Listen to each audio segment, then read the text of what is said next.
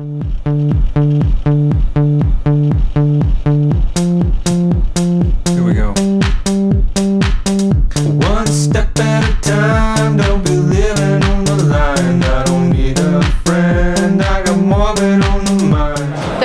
FISLI 15, a gente fez uma edição hoje super especial do Diálogos em Rede. E a gente buscou utilizar já as pessoas que já estavam aqui, conversar com elas e organizar esse espaço de debate, principalmente para compartilhar as experiências que cada governo tem de participação, de desenvolvimento de ferramentas,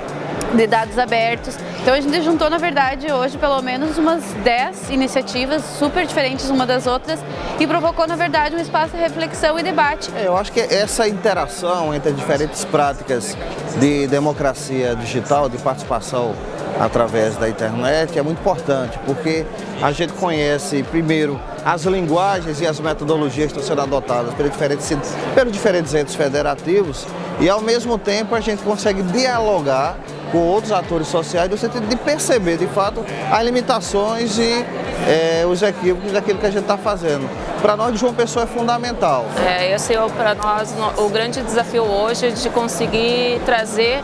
a sociedade civil para uma participação realmente efetiva, não só de conhecer as ferramentas, mas também de acompanhá-las ela com, elas com longo, ao longo do tempo e também